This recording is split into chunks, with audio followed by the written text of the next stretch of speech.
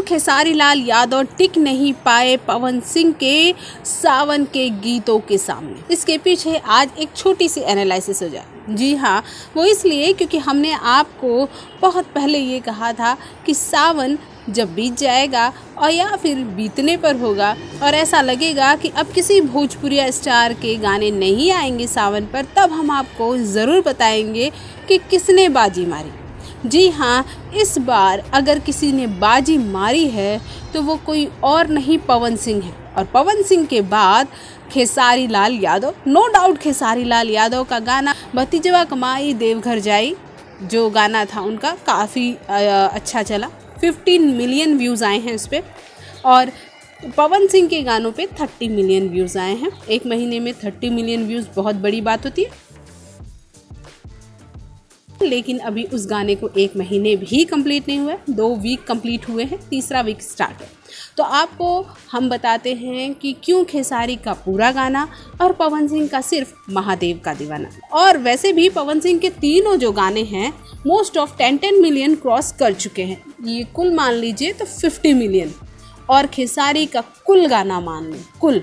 तो 25 मिलियन बात कहाँ पे हुई? कौन कम, कौन ज़्यादा? पवन के चार गाने, खेसारी के ढेरों गाने। जी हाँ आप सभी जानते हैं। जितने भी खेसारी के फैंस हैं, सभी जानते हैं। और अब खेसारी के फैंस ये मानने लगे हैं कि खेसारी के ने जितने भी गाने गाए, कहीं ना कहीं उसमें वीडियो क्वालिटी की कमी थी। कहीं ना कहीं उनके जो शब्द थे वो पहले ही, वो पहले ही बाबा खेले पबजी हुआ या कोई हुआ, सभी को पहले ये लगा कि बाबा जी को पबजी खिलाना सही बात नहीं है। हाँ मौगी पबजी खेल लेगी तो चलेगा, लेकिन बाबा जी पबजी नहीं खेलने चाहिए। भाई, अगर बाबा जी पबजी खेल लिए तो दुनिया का क्या होगा? तो इससे पहले, सबसे पहले जब खेसारी ने ये गाना निकाला और जब खेसारी का ये गाना आया तो उनका वहाँ पर बहुत ही ज़्यादा विरोध हुआ। फिर खेसारी संभले। उन्होंने सोचा कि बाजी को और दूसरी तरह से पलटा जाए। कुछ जो कि उनके गाना भतीजुआ का मौसी लेकिन खेसारी यहाँ मात सिर्फ़ अपने वीडियो क्वालिटी हाँ गाना लेकर आए खेसारी, लेकिन चला भी। उसके बाद के कैलाश धुआँ धुआँ हो, या फिर और भी कई गाने। इतने गाने हैं कि शायद उनको गिनती करना भी मुश्किल होगा, क्योंकि तकरीबन 10 से 15 गाने। खेसारी बाढ़ ला दिए। लेकिन उस बाढ़ में सुनामी का काम सिर्फ़ पवन के एक इकलौते गाने ने, महादेव का दीवाना ने किया। और यहाँ पे सिर्फ़ खेसारी की ही बात नहीं हो रही। यहाँ पर आप देख लीजिए, भोजपुरी के जितने भी स्टार हैं, रितेश पांडे के भी कई गाने हैं, मधुर थे, अच्छे थे, लेकिन वो टिका नहीं, वो चला नहीं। और फिर उसके बाद खेसारी लाल यादव के बाद आप अक्षरा सिंह को कह सकते हैं। अक्षरा सिंह के गाने भी बहुत अच्छे थे और उन्होंने वो भले ही कम गाना लेकर आई, दो से तीन ही गाना उनके आए, लेकिन गाने अच्छे थे, चले भी गाने। ऐसा नहीं था कि आप ये नहीं कह सकते कि गाना नहीं चला। खेसारी यहाँ मार सिर्फ़ एक ही चीज़ सिखाए वीडियो की क्वालिटी को तो छोड़िए एक तरह से। वीडियो की क्वालिटी तो आप चाहे जैसे बना दें, एक पल को लोग झेल लेते हैं।